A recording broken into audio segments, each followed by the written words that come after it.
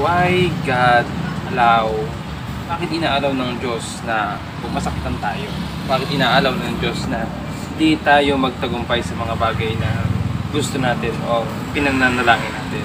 Yung mga bagay na plano natin, na matagal na nating pinagpaplanuhan, matagal na nating iniisip, that everything is everything is perfect, exactly prepared.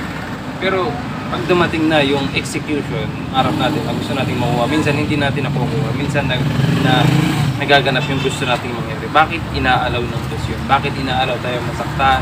Bakit inaalaw ng Diyos yung mga bagay na ah, makapagbibigay sa atin ng problema, makapagbibigay sa atin ng alalahanin?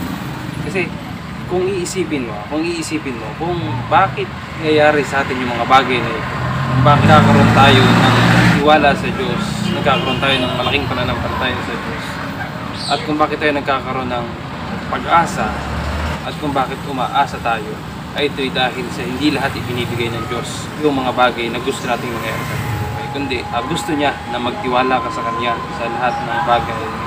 Gusto niya na makita niya yung pananampalataya. Gusto niya makita yung pananampalataya mo sa Kanya sa kabila ng mga ah, maayos mong pagpaplano. Kasi si Lord yung kalooban ng Diyos nasusunod.